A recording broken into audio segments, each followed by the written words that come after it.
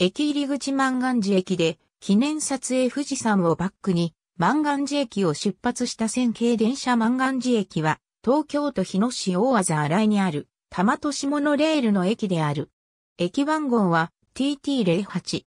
国道20号日野バイパスと東京都道503号、立川相模原線法天北側の行動上にあり、駅周辺は、町名地番整理により、日野市万願寺となっているが、無番地のため住所表記は、日野市大和新井124番地先とされる。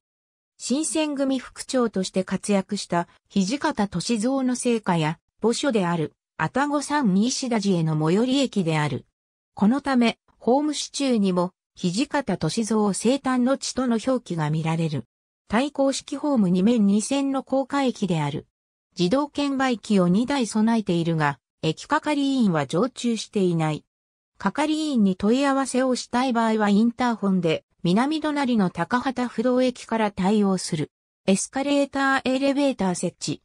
売店は営業していたが、2012年4月に閉店となった。開業以来の1日平均乗降、乗車人員推移は下記の通り。